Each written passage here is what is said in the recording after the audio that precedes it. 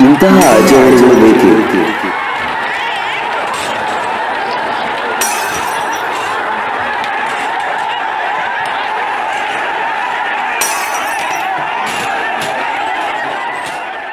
ದೇವರ ಹೆಸರಿನಲ್ಲಿ ಹಲವಾರು ಸಂಪ್ರದಾಯದ ಆಚರಣೆಗಳು ನಡೆಯುತ್ತಿರುವುದನ್ನು ನೀವು ನೋಡಿದ್ದೀರಿ.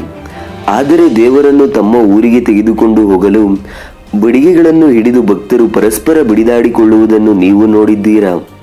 ಇಲ್ಲದಿದ್ದರೆ ಈ ಸುದ್ದಿ ನೋಡಿ. ನಮ್ಮ ಆಚಾರ ವಿಚಾರಗಳೇ ವಿಭಿನ್ನ. ಸಾಮಾನ್ಯವಾಗಿ ಹಬ್ಬಗಳ ಮತ್ತು ಜಾತ್ರೆಗಳ ಸಂದರ್ಭದಲ್ಲಿ ದೇವರುಗಳ ಉತ್ಸವ, ರಥೋತ್ಸವಗಳು ನಡೆಯುತ್ತವೆ.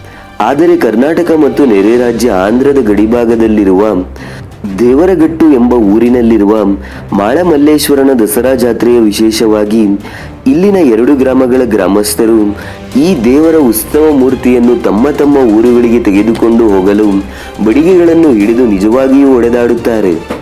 ಈ ಒಡೆದಾಟದಲ್ಲಿ ಅನೇಕರು ಗಾಯಗೊಂಡು ರಕ್ತ ಹರಿಸಿದ ಉದಾಹರಣೆಗಳನ್ನು ನೀವು ಕಾಣಬಹುದು.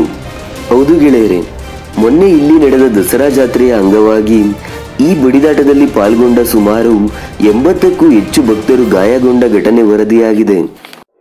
ಮೊನ್ನೆ ವಿಜಯದಶಮಿಯಂದು ರಾತ್ರಿ ಒಂದು ಗಂಟೆಯಿಂದ ಬೆಳಗ್ಗೆ ಐದು ಗಂಟೆಯವರೆಗೆ ನಡೆದ ಈ ಬಿಡಿದಾಟದಲ್ಲಿ ಸಾವಿರಾರು ಭಕ್ತರು ಪಾಲ್ಗೊಂಡು ಪರಸ್ಪರ ಬಿಡಿದಾಡಿದ್ದಾರೆ.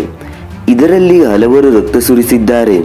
ಮತ್ತೆ ಹಲವರು ಗಾಯಾಳಾಗಿ ಆಸ್ಪತ್ರೆಗೆ ಸೇರಿದ್ದಾರೆಂಬ ವರದಿ ಬಂದಿದೆ. ಗಾಯಾಳುಗಳನ್ನು ಆಲೂರು ಮತ್ತು ಕರ್ನಲ್ ಆಸ್ಪತ್ರೆಗಳಿಗೆ ಸೇರಿಸಲಾಗಿದೆ. ಇದರಲ್ಲಿ ಕೆಲವರಿಗೆ ಕಣ್ಣಿಗೆ ಹಾನಿಯಾಗಿದ್ದರೆ ಕೆಲವರಿಗೆ ತಲೆಗೆ ತೀವ್ರ ಗಾಯಗಳಾಗಿವೆ. ವಿಜಯದಶಮಿಯ ದಿನ ಪೂಜೆ ನಂತರ ರಾತ್ರಿ ಮಾಳಮಲ್ಲೇಶ್ವರನ ಉತ್ಸವ ಮೂರ್ತಿಯನ್ನು ಹೊರತೆಗೆಯಲಾಗುತ್ತದೆ. ಆಗ ಅರಕೇರ ಮತ್ತು ನೇರಣಿಕಿ ಗ್ರಾಮಗಳ ಜನರು ಉತ್ಸವ ಮೂರ್ತಿಗಾಗಿ ಪರಸ್ಪರ ಬಡಿದಾಡುತ್ತಾರೆ. ಈ ಮೂರ್ತಿಯನ್ನು ತಮ್ಮ ಗ್ರಾಮಕ್ಕೆ ತೆಗೆದುಕೊಂಡು ಹೋದರೆ ಶುಭವಾಗುತ್ತದೆಂದು ಅಲ್ಲಿನ ಭಕ್ತರು ನಂಬಿದ್ದಾರೆ. ಹಾಗಾಗಿ ಮಧ್ಯರಾತ್ರಿಯಿಂದ ಬೆಳಗಿನ ಜಾವದವರೆಗೂ ಈ ಬಡಿದಾಟ ನಡೆಯುತ್ತದೆ.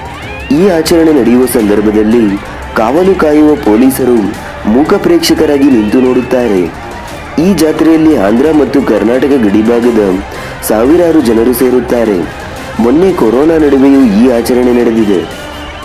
ನೂರಾರು ಜನರಿಗೆ ಈ ಬಡಿದಾಟದಿಂದ ಗಾಯಗಳಾಗಿದ್ದು ಕೆಲವರ ಸ್ಥಿತಿ ಗಂಭೀರವಾಗಿರುವ ವರದಿಗಳು ಬಂದಿವೆ. ದೇವರ ಹೆಸರಿನಲ್ಲಿ ಬಡಿದಾಡಿ ಗಾಯಗೊಳ್ಳುವ ಇಂಥ ಆಚರಣೆಗಳು ಬೇಕೇ ಎಂಬುದು ನಾಸ್ತಿಕರ ಪ್ರಶ್ನೆಯಾಗಿದೆ. ನಿಮ್ಮ ಅಭಿಪ್ರಾಯವೇನು? ತಿಳಿಸಿ ಗೆಳೆಯರೇ.